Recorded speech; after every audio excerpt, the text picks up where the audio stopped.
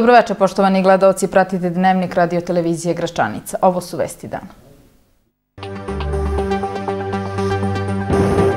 Predsednik Vučić poručio Vjosi Osmani i prištinskim vlastima da ni ne sanjaju da bi Srbija mogla priznati nezavisnost Kosova. Nastojanja Prištine da non-paper o Kosovu pripišu zvaničnom Beogradu samo su perfidni pokušaj i da se prikrije njegov pravi autor, navodi u saopštenju direktor Kancelarije za Kosovo i Metohiju Petar Petković. Kurti u Briselu poručio da nema nastavka dijaloga 11. maja. U Srbiji 2138 novih slučajeva koronavirusa, a preminulo 26 osoba. Na Kosovu i Metohiji 327 je novozaraženih, a preminulo je pet pacijenata. U Gračanici sa zakašnjenjem obeležen Svetski dan Roma. Vreme sutra promenljivo oblačno i uglavnom suvo. Predsednik Srbije Aleksandar Vučić poručio je danas Vjosi Osmani i prištinskim vlastima da ni ne sanjaju da bi Srbija mogla priznati nezavisnost Kosova. Vučić je tako odgovorio na pitanje novinara da prokomentariše objavu Osmani da iza svih non-papera stoji Srbija uz konstataciju da je to neistina i laž. Da vam kažem, je li to sama smisla ili je neko pomogao? A da na to dodam da odmah razobličim kakva je to neistina i kakva je to laž. Dakle, ako se oni nadaju da bi Srbija prihvatila takvo priznanje Kosova, pa oni misle da je to loš papir za njih, odmah da vam kažem da se to neće desiti. Tako da ne sanjaju da bi to bilo prihvatljivo za Srbiju, a kamoli da mi iza tako nečega stojimo. Ali ako im je tako lakše, pošto u svemu vide i Srbiju, i mene, i ne znam koga, Ja nemam šta da kažem. Kao što vidite, mi se bavimo drugim stvarima, da me niste pitali, ne, bi ne bismo ih ni pomenuli. Tako da, oni svoj posao, mi svoj posao i to je to. Mnogo su važni.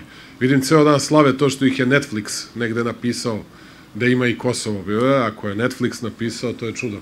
Kako, šta će vam Ujedinjene nacije kad vas je Netflix stavio na listu? Što da se muče, što da traže to od nas? Netflix vas je stavio, šta će vam Ujedinjene nacije? Šta će vam Interpol? Šta će vam bilo šta? Evo imate Netflix, gledajte filmove šutirate loptu, gledajte filmove, to je sve u redu. Nastojanja iz Prištine da non-paper o Kosovu i Metohiji pripišu zvaničnom Beogradu samo su perfidni pokušaj i da se prikrije njegov pravi autor, naveo je u saopštenju direktor Kancelarije za Kosovo i Metohiju Petar Petković, reagujući na nastojanja Prištine da ubedi javnost da svi non-paperi i ideje koje su u njima predstavljene, kao što je promena granica, su destabilizujuće za region i imaju izvor u Srbiji. Petković je ukazao da se takav dokument nije pojavio ni u jednom beogradskom mediju, već u prištinskim medijima i da to da, i to samo dan nakon što je obelodanjeno kada će biti nastavljeni pregovori. Zato bi Prištini bilo bolje da se dobro pripremi za dijalog, a Aljbinu Kurtiju da današnje razgovore u Briselu vodi u duhu normalizacije odnosa sa Beogradom, nego što energiju rasipa na lažne vesti, naveo je direktor Kancelarije za Kosovo i Metohiju.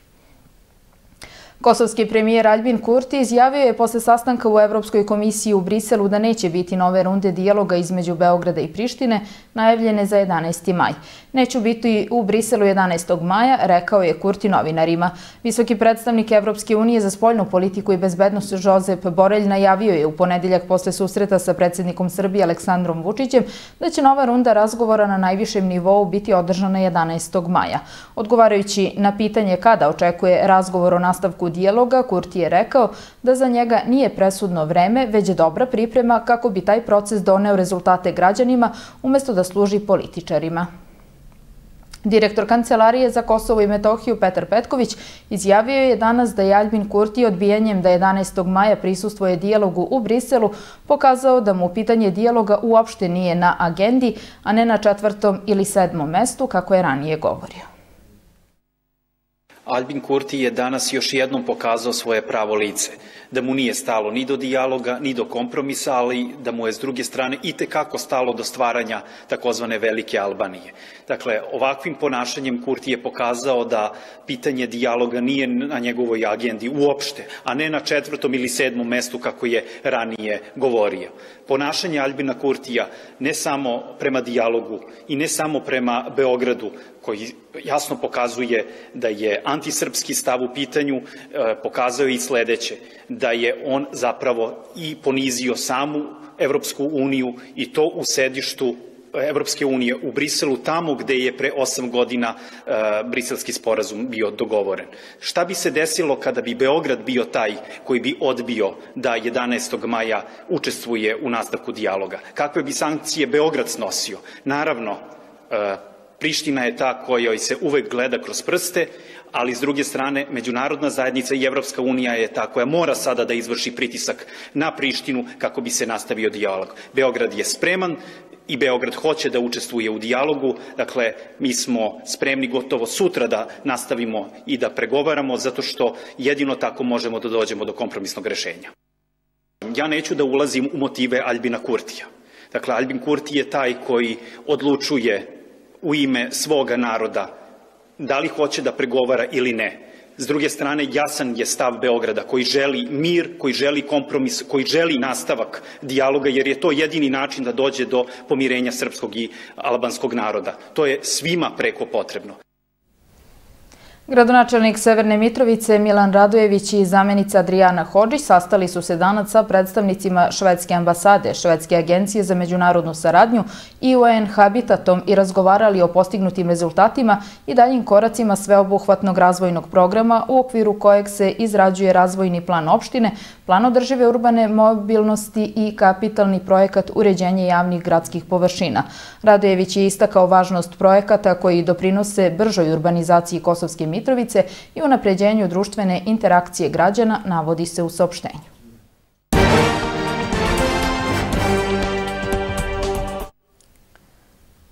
Predsednik Srbije Aleksandar Vučić izjavio je danas da će COVID bolnica u Novom Sadu, za koju je položen kamen temeljac, biti od ogromnog značaja za celu pokrajinu, jer će samo u njoj biti 220 mesta za intenzivnu negu. Predsednik Aleksandar Vučić rekao je da će COVID bolnica u Novom Sadu, za koju je položen kamen temeljac, biti od ogromnog značaja za sve nas. Želim da znaju ljudi, dakle, izgradnja, rekonstrukcija, modernizacija kliničkog centra Vojvodine košta 50 miliona evra. To ljudi treba da znaju. Mi ne pričamo o malom novcu. Ne pričamo o 500.000 evra, ne pričamo o milion evra ili o 2 miliona evra, pričamo o 50 miliona evra. Pričamo je oprema samo između 18 i 19 miliona evra. Dakle, reč je o ogromnom novcu, najmodernijoj i najboljoj opreme. Izgradnja COVID bolnice trebalo bi da označi i rasterećenje kliničkog centra Vojvodine, gde se svakodnevno leče pacijenti pozitivni na koronavirus još od 7. marta prošle godine, rekao je Vučić. Cela Vojvodina ima 170 kreveta intenzivne nege. Samo ovde će biti 220 kreveta intenzivne nege, ne poluintenzivne, već intenzivne nege. Dakle, ovde će vam biti 56%, ukoliko sam dobro izračunao, 56% ukupnih kapaciteta intenzivne nege za celu Vojvodinu. Vučić je izrazio uverenje da će bolnica biti izgrađena u najavljenom roku do 1. septembra i istakao da je posebno ponosa na bolnice koje su izgrađene ili se grade širom Srbije. 40 ili 50 godina gotovo da nije bilo novih pogona i novih fabrika u Novom Sadu. Ću sad samo da vam navedem šest koje su otvorene u poslednjih nekoliko godina. Lir, Aptiv,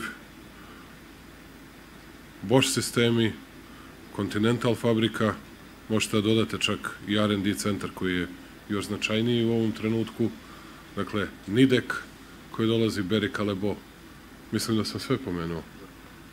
Dakle, to smo sve, sve te investitore uspeli smo da dovedemo u nekoliko prethodnih godina.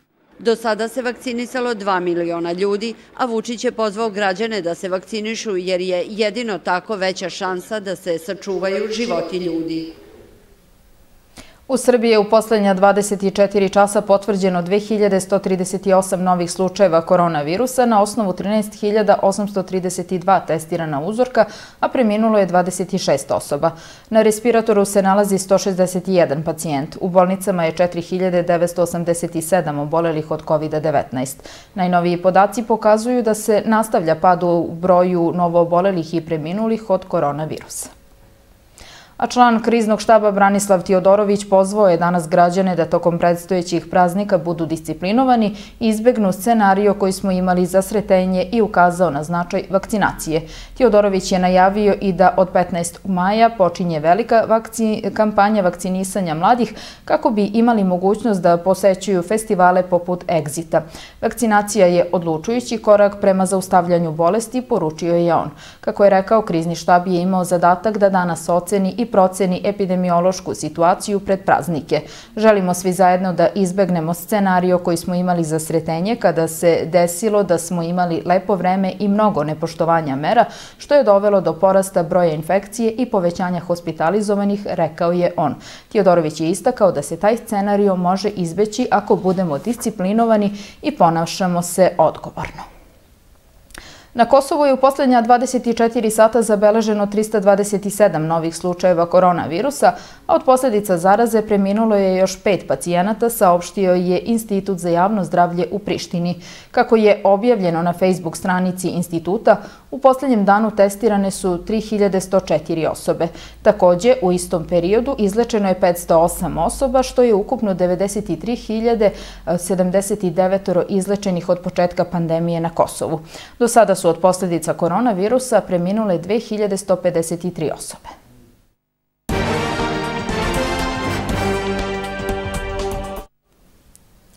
Grupa mladih sa Kosova i Metohije iz centralne Srbije, učesnici Hartefaktovog programa Upoznaj drugog, Kosovska škola, posjetila je danas Privrednu komoru Srbije. Predsednik Privredne komore Srbije Marko Čadež je tom prilikom rekao da Hartefakt već drugu godinu pokušava da poveže mlade ljude sa svojim vršnjacima i da ih oslobodi predrasuda. Kako je rekao, mladi su danas taoci nekih tema za koje sami nisu krivi. Programski menadžer Hartefakta Vana Filipovski rekla je da se program Kosovska škola organizuje već drugu godinu i da je postao važno mesto za susret mladih ljudi i njihovu saradnju. Ona je rekla da učesnici ovog programa dolaze iz Prištine, Niša, Peći i Beograda.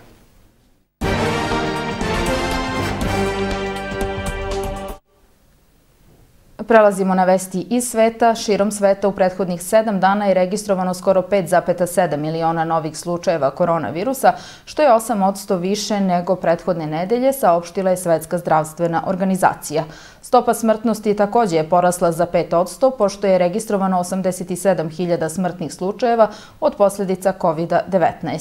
Svetska zdravstvena organizacija upozorila je da je varijanta koronavirusa za koju se veruje da je izazvala naglo širenje epidemije u Indiji otkrivena u 17 zemalja. Varijanta B1617 otkrivena je u više od 1200 virusnih sekvencija unesenih u bazu podataka Gisaida iz najmanje 17 zemalja. Svetska zdravstvena organizacija postiče ljude širom sveta da doniraju 7 dolara za jednu dozu vakcine protiv COVID-19 u nastojanju da prikupe dodatna sredstva za međunarodni program COVAX. Pokrećući danas kampanju Hajde daj jednu, generalni direktor Svetske zdravstvene organizacije Tedros Adhanom Ghebreyesus rekao je da će ona omogućiti svima koji žele da odigraju svoju ulogu u vakcinaciji sveta jedinstvenom donacijom i da vremenom pomognu u okončanju pandemije, preneo je Reuters.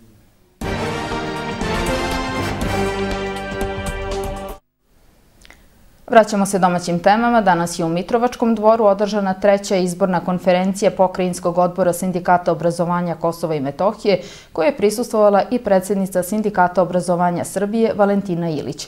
Sindikalci su izabrali predsjednika i radno predsjedništvo, a između ostalog osvrnuli su se i na položaj prosvetara na Kosovu i Metohiji.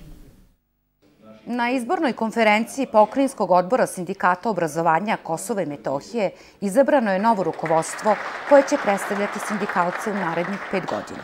Izabrali smo predsjednika Pokrinjskog odbora Sindikata obrazovanja Kosova i Metohije, gospodina Zorana, odnosno kolegu Zorana Drobnjakovića. Izabrali smo radno predsjedništvo. U radnom predsjedništvu su uglavnom zastupljeni svi sindikati sa čitave teritorije Kosova i Metohije koji učestvuju u radu sindikata. Izabrali smo naše predstavnike u višim sindikalnim organima, to je Republički odbor i odbor delatnosti osnovnog i srednjeg obrazovanja, visokog obrazovanja i učeničkog i studentskog standarda. Po prvi put će biti predstavnik sa Kosova i Metohije u predsedništvu Sindikata obrazovanja Srbije, a imaće i svoja tri predstavnika u najvećem odboru Sindikata obrazovanja Srbije, ovaj, svoja tri predstavnika i naravno u svim odborima delatnosti. Vi sami znate da je Sindikat obrazovanja Srbije najbrojniji sindikat e, u, u Republici Srbiji i jedini koji obuhvata sve, e, koji je reprezentativan na svim nivoima obrazovanja. Na konferenciji predstavnici sindikata su se osvrnuli i na položaj prosvetnih radnika na Kosovu i Metohiji. U Gračanici na platovu ispred opštine danas je sa zakašnjenjem zbog epidemioloških mera obeležen Svetski dan Roma. Svetski dan Roma obeležen je u Gračanici sa zakašnjenjem zbog epidemioloških mera koje su bile na snazi 8. aprila. Ovaj dan ipak je obeležen danas u cilju ukazivanja na položaj romske zajednice, kao i promovisanja romske kulture i tradicije. Ambasador misije OEPS-a na Kosovu, Michael Davenport, naglasio je da mu je drago što prisustuje jednom ovakvom događaju, kao i zbog toga što se u ovoj opštini misli i govori o romskoj zajednici. The Kosovo-Roma community Zajednica kosovskih Roma i dalje je jedna od eh, najugroženijih eh, na Kosovu i OEB zajedno sa svojim partnerima eh, radi i dalje na tome da se njihovo stanje unapredi. Ovo naravno uključuje i stvaranje mogućnosti za obrazovanje, za potrebe smeštaja i za stvaranje radnih mesta. Na skupu je naglašeno da su uslovi života romske zajednice otežani i da se svakodnevno radi na tome da se život Roma poboljša. Romi i romska zajednica daje ogroman doprinos tom multikulturnom životu na Kosovu. A, ono što mogu da kažem jeste da u ime ministarstva i ministra Rakića da ćemo dati punu podršku integraciji, suživotu Roma i romske zajednice, ne samo u Gračnici, nego na svom prostoru Kosova. Opština Gračanica kao jednu od značajnih stavki svog delovanja izdvaja život romske zajednice, a u svrhu informisanja u saradnji sa radiotelevizijom Gračanica postoji i informativno-zabavna romska emisija. Danas Gračanica, otvorenog srca, šalje lepu i jasnu poruku. Šalju mu poruku tolerancije, saradnje, poruku kulture, kulturne razmene, poruku kreativnosti i talenta, poruku ljubavi prema kulturi i umetničkom stvaralaštvu. Ovu iskrenu poruku ne šaljemo samo mi, politički predstavnici, što jeste važno za, za razvijeno i demokratsko društvo, kako želimo da postanemo. Ovu poruku šalje naša talentovana mladost, mlade umetnice i umetnici koji predstavljaju budućnost naših zajednica. Svi prisutni imali su priliku da pogledaju slike Bajrama Mehmetija iz Lepine, koji je već učestvovao na izložbama, a koji radi i sa mladim nadarenim talentima. Pozvali smo zainteresovanu decu, talentovanu decu, koji su želi da predstavljaju svoje radove, da crtaju, da slikaju i da kroz umetnost pokažemo, da obeležimo taj dan, da kažemo, našu kulturu, naš život. Istaknute talente u slikanju pozdravio je ambasador Devenport, a opština Gračanica za njih je pripremila poklone. Uskršnji humanitarni bazar u organizaciji predškolske ustanove Đurđevak održan je danas u Lapljem selu, sav prihod usmeren je za pomoć u lečenju Nemenje Maksimovića iz Batovca. Još jedan u nizu humanitarnih bazara, čiji će prihod biti namenjen za lečenje Nemanja Maksimovića iz Badovca, održan je u Dečijem parku preškolske ustanove Đurđevak u Lapljem selu. Deca, vaspitači, roditelji i posetioci odazvali su se i pokazali još jednom da nije teško biti human i pomoći su građaninu u nevolji. Odziv je bio jako, jako, jako dobar, stvarno su znači, iznenađeni, uh, verovatno zato što je humanitarnog karaktera, pa su onda verovatno više u roditelja došli. Uh, nismo, kao što vidite, niti smo imali cenu, prvo zbog toga svako kako žele neka napiše, neko ostavi, odnosno novac, uh, jako bio roditelj. Samo da vam kažem, znači, učestvovali su i deca i roditelji i vaspitači. Vaspitači su znači radili stvarno, znači i subotom i nedeljom i svaki, svaki dan, znači nismo gledali, za, kaže, svi što je bilo humanitarnog karaktera, sve je bilo drugačije, niko nije bio umoran u bezi posla, znači bilo je najviše nivou, znači svi su se potrudili maksimalno. Predmete i proizvode koji su izloženi na uskršnjem humanitarnom bazaru pravila su deca i njihovi vaspitači. Raznoliki kolači i slatkiši, ukrasne korpice za jaja, farbane jaja i maštovite dekoracije su privukli pažnju velikog broja posetilaca. U pripremi uh, svih ovih naših uh, uskršnjih proizvoda uh, učestvovala su dečice i njihove vaspitačice iz Preoca, Lapnih sela i Čaglavice. Svi ovi proizvodi su pripremani u prethodnih mesec dana kako bi ulepšali ovaj dan i ove naše predpraznične dane. Inače, ideja je bila da se sva sredstva koje se prikupe od prodaje ovih proizvoda daju u humanitarne svrhe i to će verovatno tako i da bude urađeno. E sada naša glavna ideja, osim te humanitarne, je da decu od malih nogu e, pripremamo da budu ljudi. Dakle, da odrastaju u tom neku, nekom duhu solidarnosti, e, stvaralaštva i, i lepog ponašanja. Mališani Đurđevka, kao glavni akteri ovih bazara, bili su i ponosni i uzbuđeni. Spremali smo brece skrofne, korpice i... I ko je to sve spremao? Učiteljice i mi. Mm A šta si ti radila? Ja sam prebrala one čestitke. Ti znaš zašto prodajete ove proizvode? Da. Zašto? Zbog para. Zbog para? Zbog para, zbog jednog deteta.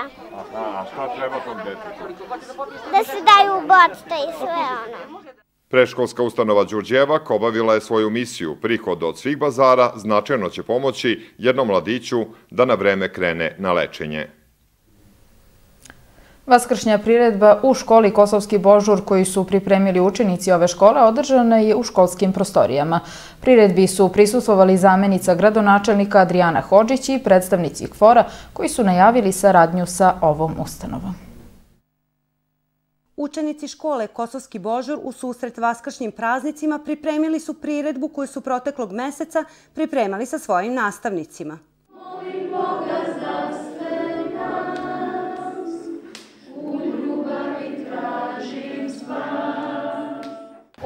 Priredbom pokazati da smo i u ovom vremenu kada je već korona i pandemija trajala, uspeli da bar nešto uradimo sa ovom decom, da ih negde vratimo u ono prvobitno stanje koje je bilo pre ovog prekida rada. Zamenica gradonačelnika Severne Mitrovice Adriana Hođić je sa predstavnicima KFOR-a obišla školu i uživala u programu koji su pripremali đaci. Danas sam ja ovde sa našim saradnicima iz KFOR-a i nakon onoga što ste vi spremili za nas, ja se nadam da ćemo imati konstruktivan razgovor na kojem ćemo pokušati da razmotrimo mogućnosti eventualne buduće saradnje sa ciljem da ova deca ponovo odu negde u prirodu, da li će to biti na mor ili na neku planinu, vidjet ćemo, ali u pitanju je humanitarna akcija koju želimo da organizujemo zajedno sa KFOR-om. Na priredbi su ispoštovane sve epidemiološke mere, a đaci ove škole poželjeli su prisutnima da u miru i blagostanju provedu vaskršnje praznike.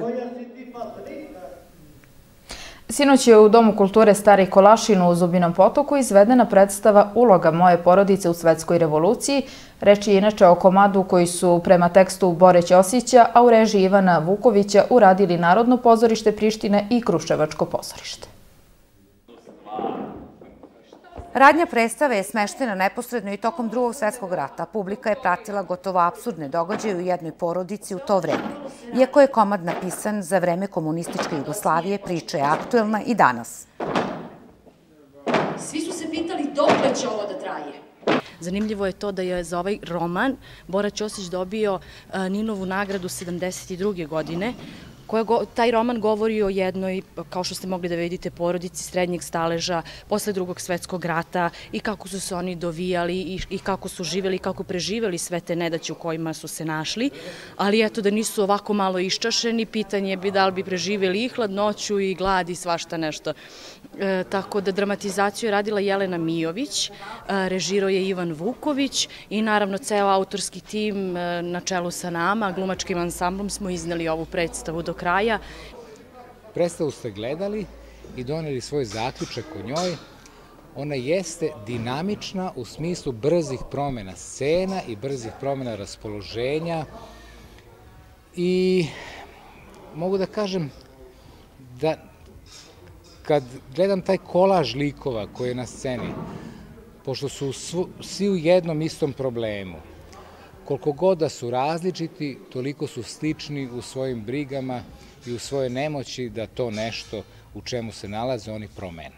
Predstava Uloga moje porodice u svetskoj revoluciji koja je rađena u koprodukciji Narodnog pozorišta Priština i Kruševačkog pozorišta naišla je na odobravanje i oduševljenje publike.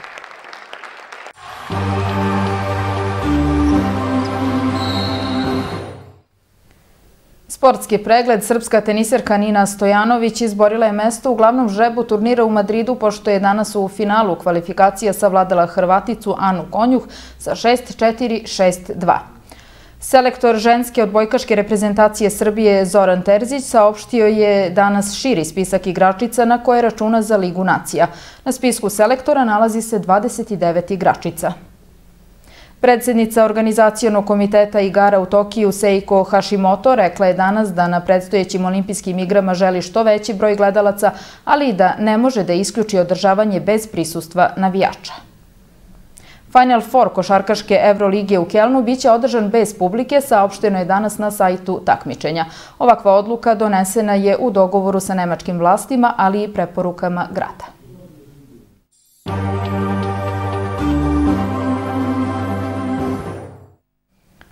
Sutra će biti promenljivo oblačno i uglavnom suvo vreme, posle podne uz lokalni razvoj oblačnosti tek ponegde s kratkotrajnom kišom i pljuskom. Najniža temperatura od 7 do 11, a najviša dnevna kretaće se od 18 do 24 stepena. Gledali ste Dnevnik radio televizije Gračanica. Hvala na pažnji.